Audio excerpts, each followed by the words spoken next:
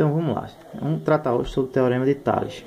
O Teorema de Tales vai dizer o seguinte: se um feixe de retas paralelas intercepta duas transversais, então dois segmentos quaisquer determinados em uma das transversais e seus correspondentes na outra transversal serão proporcionais. Então veja, nós temos aqui um exemplo de, das retas RS e T cortada por duas transversais U e V nós temos que o segmento AB está para BC, assim como o segmento EFDE está para EF, ou seja, segmento AB aqui está para BC, assim como o segmento DE vai estar para EF. A gente também pode estabelecer outra proporção, dizer que o segmento AB vai estar para AC, assim como o segmento DE vai estar para o segmento DF, certo? Aqui nós temos um abaixo, nós temos um exercício de fixação.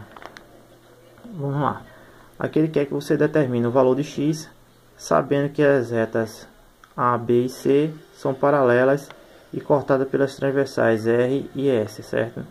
Então nós temos que esse segmento aqui mede x, esse mede 15 esse segmento correspondente ao x mede x mais 4 e esse aqui que corresponde ao 15 mede 20. Então, estabelecendo a proporção pelo teorema de Tales, nós temos que o segmento x está para 15, assim como x mais 4 vai estar para 20.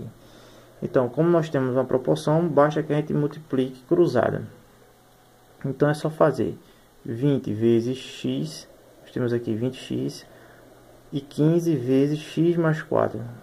Não se esquecer de colocar o parênteses, porque aqui nós temos a propriedade distributiva da multiplicação em relação à adição.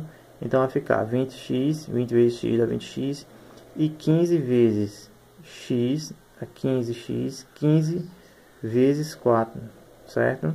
Então 20x é igual a 15x mais 15 vezes 4, 60 certo? Resolvendo aqui essa equação, a gente fica com, podemos colocar tudo que é letra de um lado e tudo que é número do outro. Então vai ficar 20x menos 15x, passando esse 15x para o outro lado, com sinal negativo, ficando 20x menos 15x igual a 60.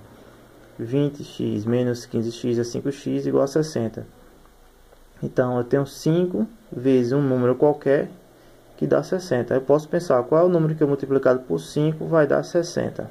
Se você não souber isso de cabeça, é só saber passar o 5 dividindo. Então, x vai ser quem? 60 dividido por 5. Então, logo x é 12, ok?